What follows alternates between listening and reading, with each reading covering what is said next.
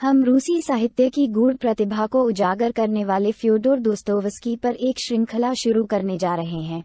उनकी रचनाएँ वास्तव में मन और आत्मा के लिए एक रोलकोस्टर की सवारी की तरह हैं, जो उतार चढ़ाव, मोड़ और गहन अंतर्दृष्टि के क्षणों से भरी हुई हैं, जहाँ हम दोस्तोवस्की की प्रतिभा की गहराई का पता लगाएँगे और उनके पात्रों, विषयों और दार्शनिक विचारों की जटिलताओं को उजागर करेंगे।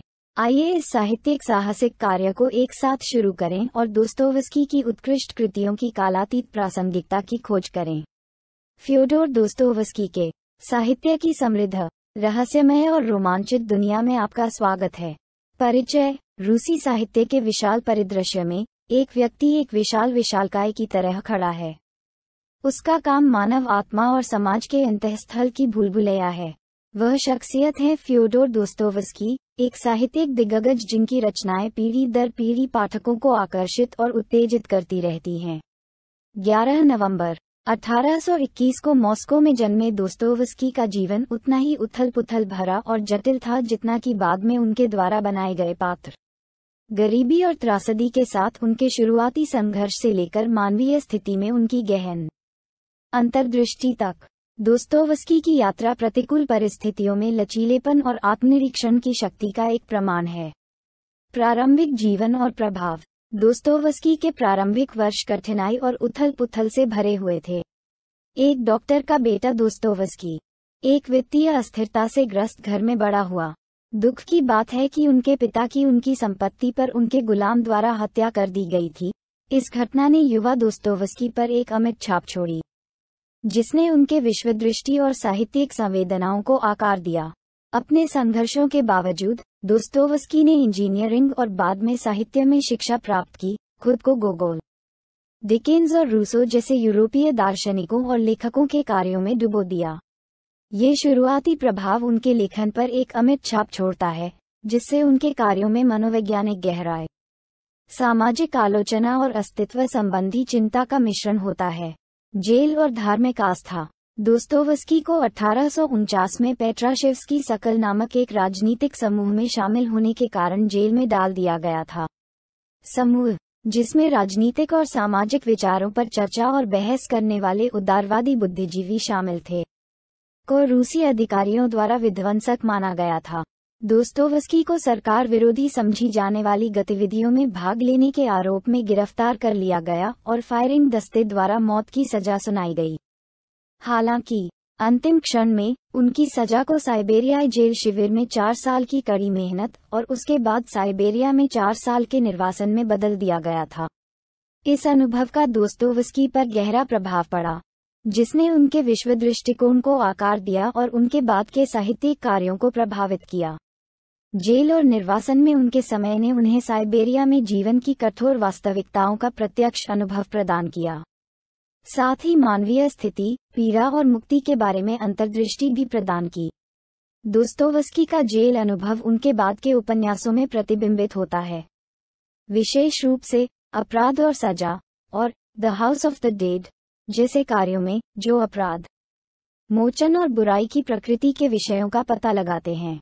जेल में उनके समय ने उनकी धार्मिक आस्था को भी गहरा किया और उनके लेखन में अस्तित्व संबंधी और दार्शनिक प्रश्नों की खोज में योगदान दिया। साहित्यिक करियर और प्रमुख कार्य।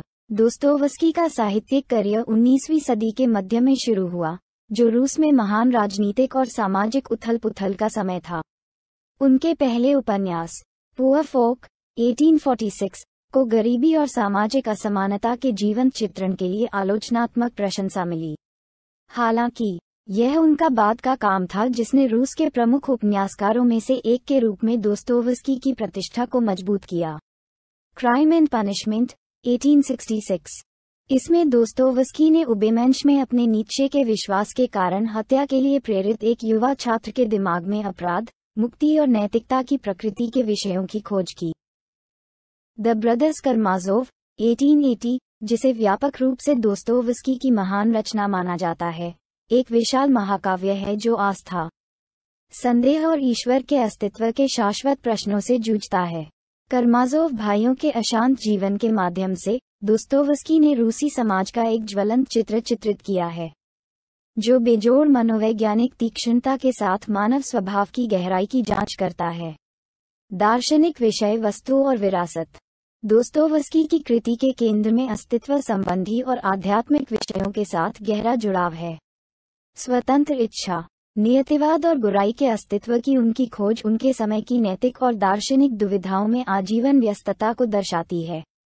इसके अलावा, धारा चेतना कथा और मनोवैज्ञानिक यथार्थवाद के उनके अग्रणी उपयोग ने लेखकों की भावी पीढ़ियों के लिए आधार तैयार किया, जिसने काफका, एल्बर्ट कामू और फ्रॉइड जैसे लेखकों को प्रभावित किया।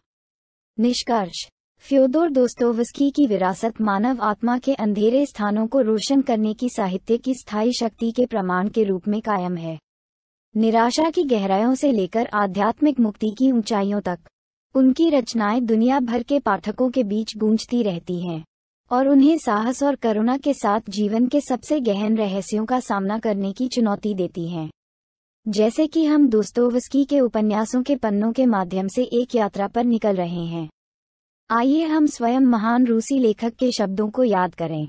मनुष्य एक रहस्य है। यदि आप अपना पूरा जीवन इसे सुझाने में बिता देते हैं तो यह मत कहिए कि आपने अपना समय बर्बाद कर दिया। मैं खुद को इस रहस्य में व्यस्त रखता हूँ क्योंकि मैं एक आदमी बनना चाहता हूँ। धन्यवाद। आशा है आपको फ्योदोर दोस्तोवस्की का परिचय पसंद आया होगा। हम आने वाले एपिसोड में दोस्तोवस्की के साहित्य की गूढ़ प्रतिभा को उजागर करेंगे और उनकी रचनाओं को समझेंगे। इसलिए कृपया बने रहें। यदि आप हमारी मेहनत की सराहना करते हैं तो कृपया इस पोस्ट को लाइक और शेयर करें और हमारे चैनल को सब्सक्राइब करें।